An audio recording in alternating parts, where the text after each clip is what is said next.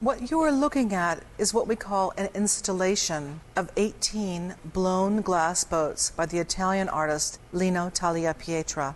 Each of the boats is suspended from the ceiling by a steel cable, and they float in the air much like the gondolas of Tagliapietra's native Venice float on the water.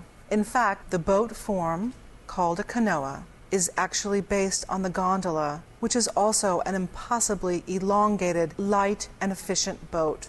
Tagliapietra had a classic European education. He entered the glass factories of Murano, Venice's glassmaking island, at the age of 11. He earned the title of maestro at 21, and he worked for several companies making objects and doing some design. But it was not until he came to America that he developed his own sculptural work.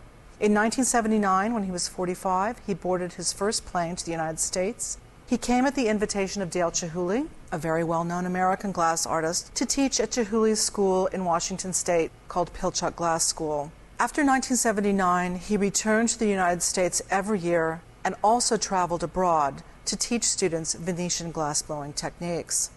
What Tagliapietra did was open a path onto centuries of glass knowledge for American artists. And after his arrival in the United States, it is not an exaggeration to say that glassblowing was changed forever.